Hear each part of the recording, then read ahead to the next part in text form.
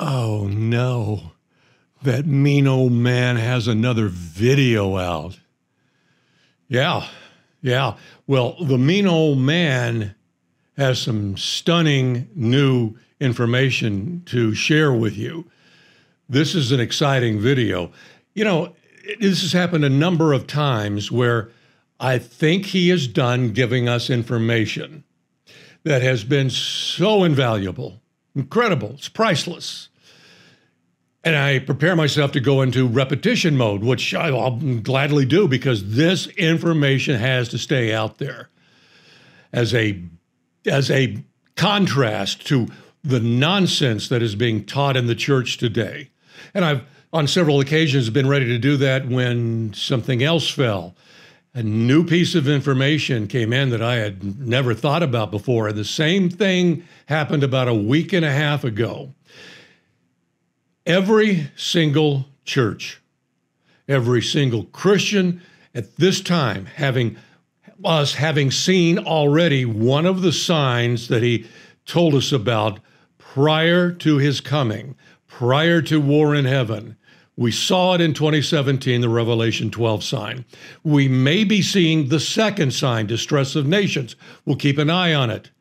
We are on the clock, and the church should be focused about what is it that the Church of Philadelphia was doing correctly to cause the Lord to say, Because you have kept my command or word. The Greek word there is logos statement, speech, saying, command, because you kept something I said about, and that next Greek word is usually uh, translated as perseverance, regarding perseverance, or patient endurance.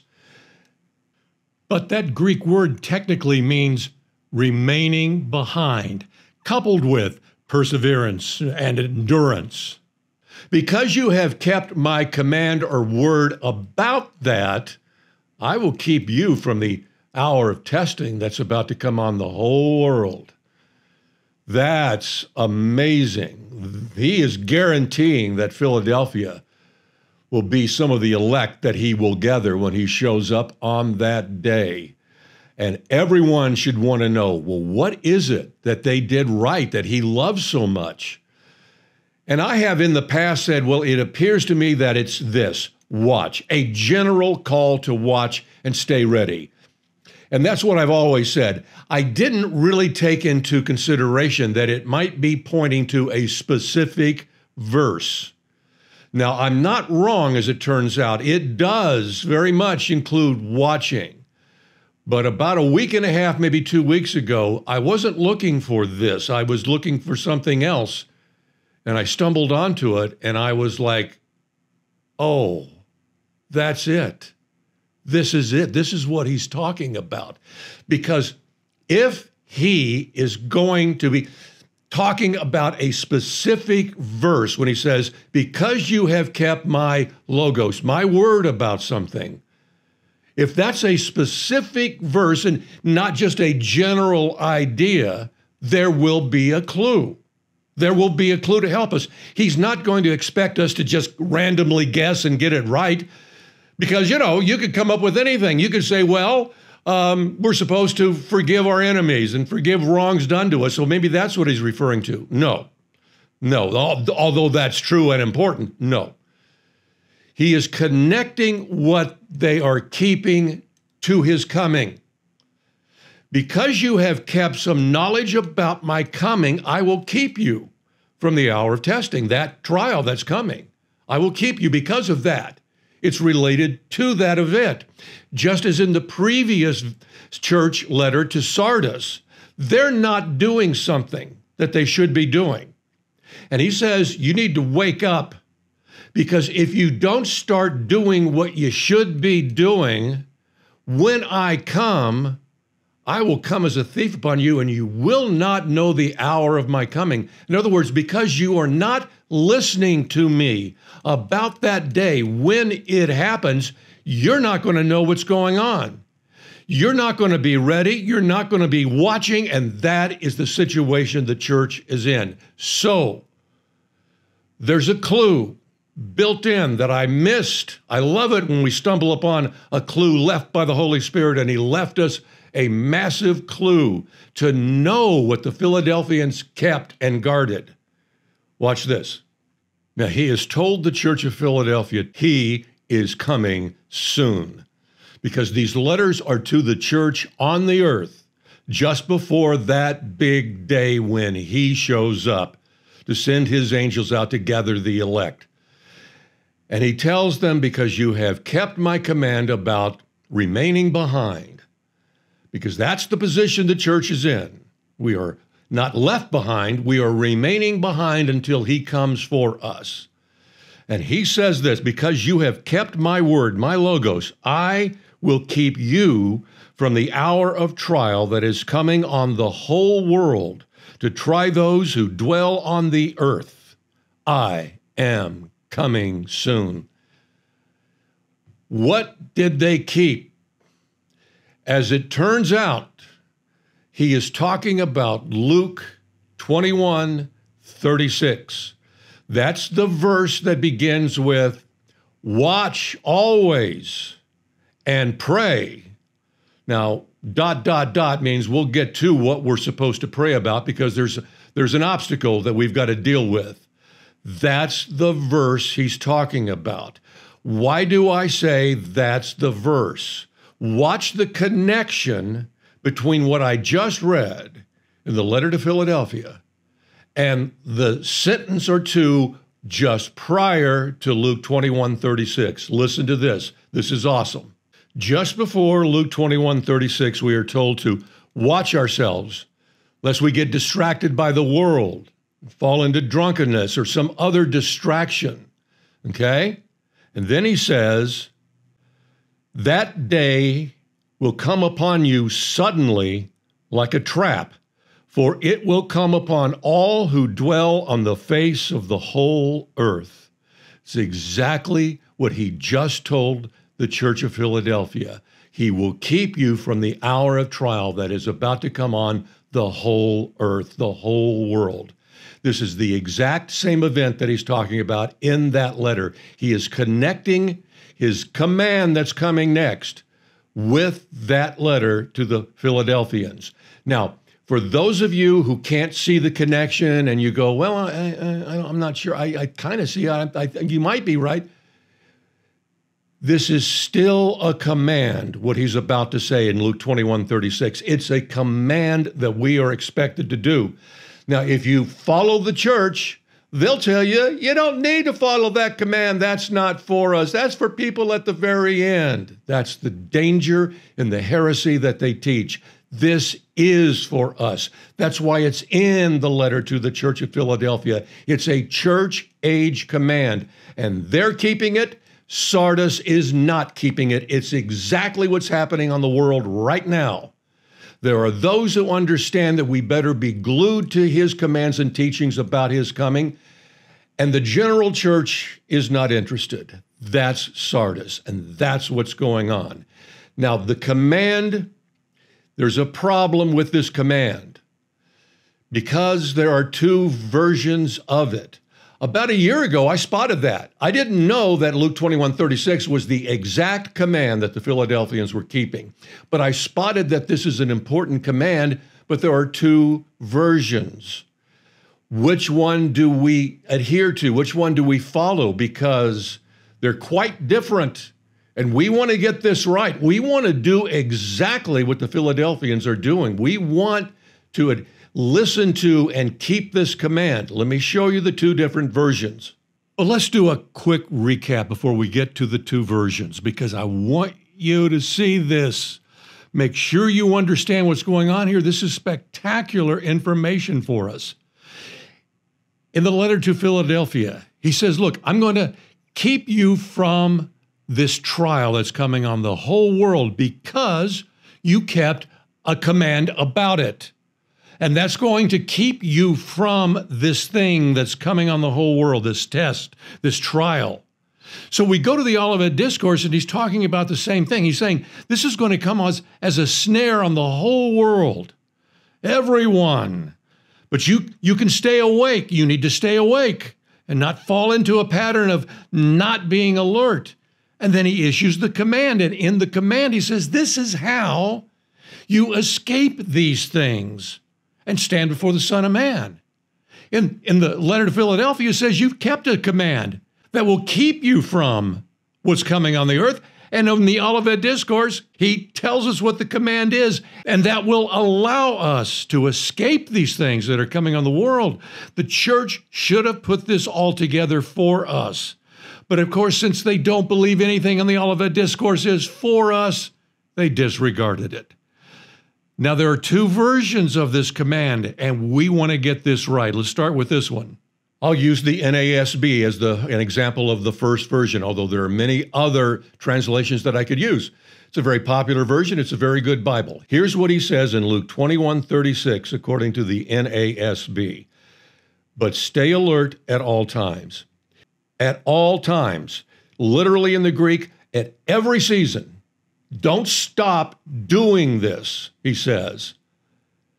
Praying, this is important, that you will have strength to escape all these things that are going to take place and stand before the Son of Man. He is saying you are going to need strength. Now, we're going to put that in context later, okay? Do you see that?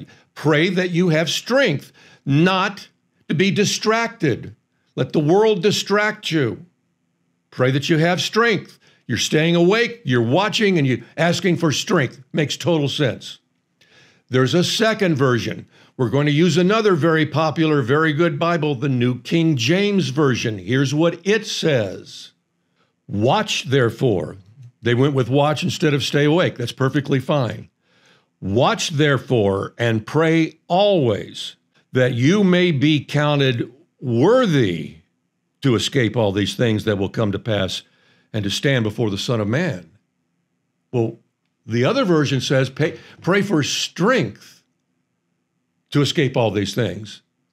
This one says, pray always that you be counted worthy to escape all these things and stand before the Son of Man. That's quite a difference.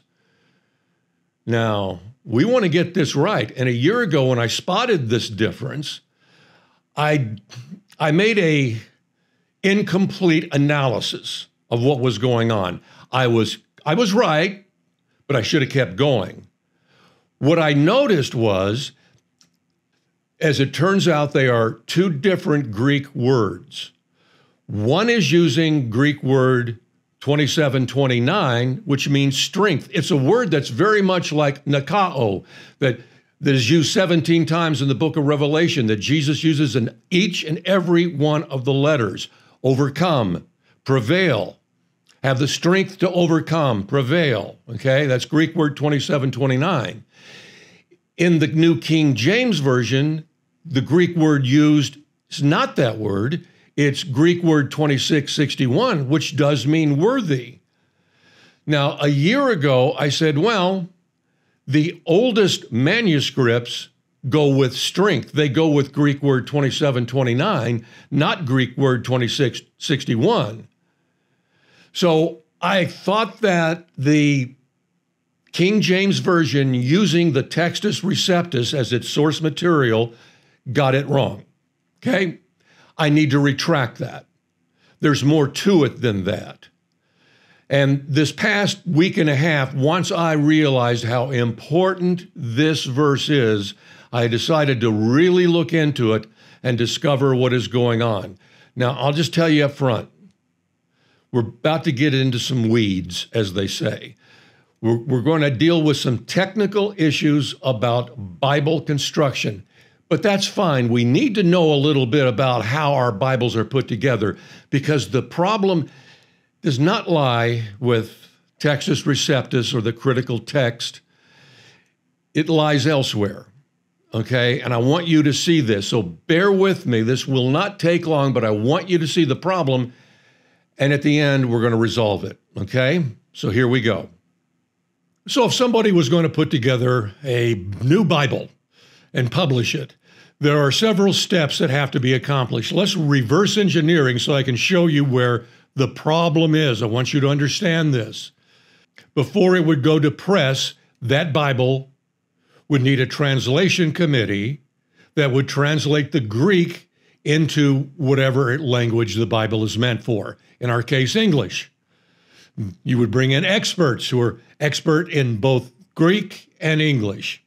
Okay, the problem that we have in Luke 21 36 does not lie at this level. There's not a problem here. Sometimes there is a problem with the translators. That's why it's good to check several versions. Let's go to the next step.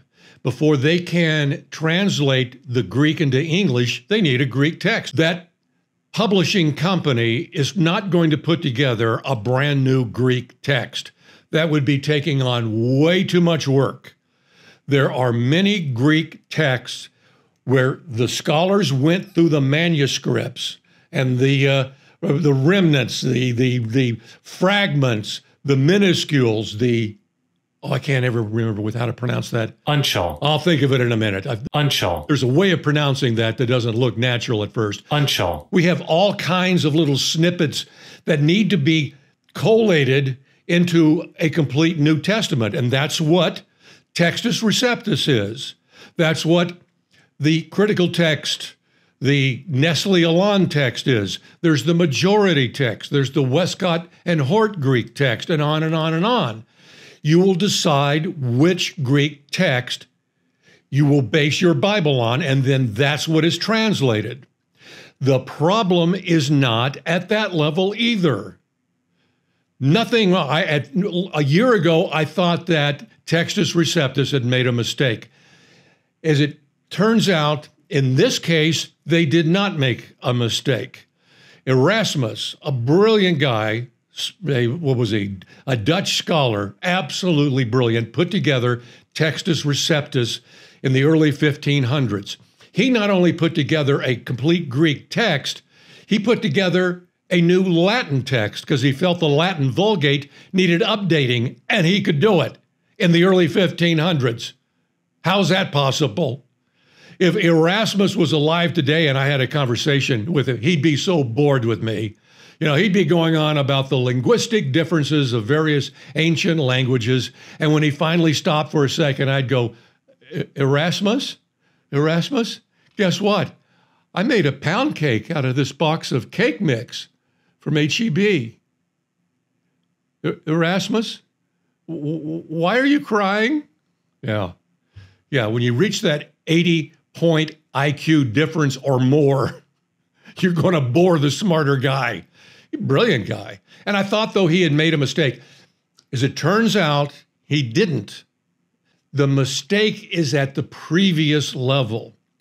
All Greek texts are going to be based dominantly by either the Alexandrian family of Greek manuscripts or the Byzantine family of Greek manuscripts, parchments, codexes, minuscules, all of the things that we have are going to come from those two text types, they're called, either the Alexandrian or the Byzantine family. All Greek texts are going to be dominated by one or the other.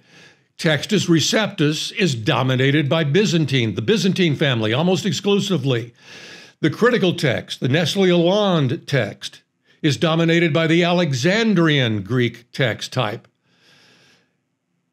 And the proponents for each make a case. One is not good and the other is evil. They're both good. It's like the difference, trying to decide the difference between what? Uh, uh, Brady or Joe Montana as your all time favorite quarterback or best quarterback or whoever. You're looking at two great systems, but you're going to pick one. And that's where the problem lies. The Alexandrian Greek text used Greek word 2729 in Luke 21 36. The Byzantine family uses Greek word 2661. That's where the problem lies. Since Textus Receptus was reliant on the Byzantine, it simply noted that Greek word 2661 is included in Luke 21:36. So now we've got to try and decide well, which Greek text type do we go with? The Alexandrian proponents will say the Alexandrian texts are older, and older is better. And just when you think that's good enough for you, the Byzantine proponents come along and say, well, yeah, that may be true, and it is true. But if you put all of the Greek texts we have, all of them, from the, from the Greek uh, Alexandrian text to the Byzantinian, the Byzantine Greek text, you put them all in a room. 90% of them are going to be from the Byzantine family of Greek texts. 90%.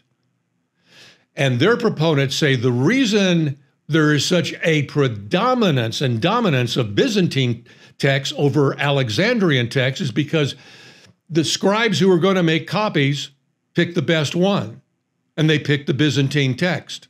And that's why there are so many of them. Look, I'm not capable of making a decision based on that stuff. That's that's out of my pay grade. Okay, that's out of my price range. They both make strong points. So I looked at this problem in a slightly different way because I'm not going to be able to resolve it. I'll listen to Byzantine proponents and I go, yeah, maybe I should go with the Byzantine. Then I listen to Alexandrian proponents. I go, you know, yeah, they make a good case too. I, I think the solution is that when you look at this verse, because it's so important, it's a command, and I believe it's the command he's talking about that the Philadelphians have kept. And because they have kept that, he's keeping them from the hour of trial that's coming on the whole world. If you look at, at the context of this verse, they're both saying the same thing. If you go with strength, he is saying you're going to pray for strength so that you can overcome the world. In trying to distract you from the truth of his coming.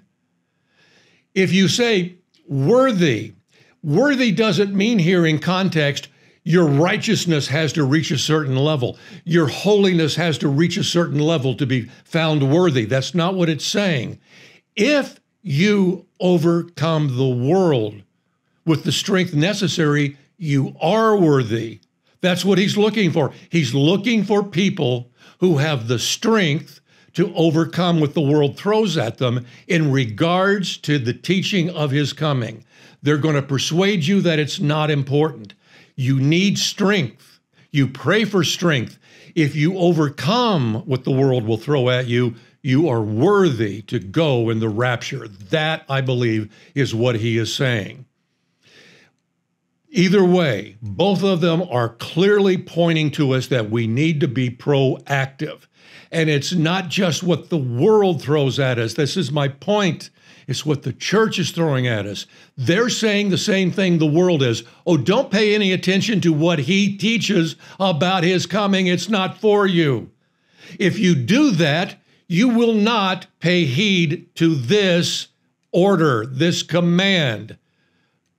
Watch and pray always. In every season, we're supposed to do that to have the strength to overcome the people and the things of this world who will try and stand in our way. If you do that, you are worthy to escape these things that are coming on the world. Stand before the Son of Man. That's how I believe we harmonize this. I think they're both in their own way correct. But there is a difference, and I wanted to bring that to you. It's too important. We want to get this right.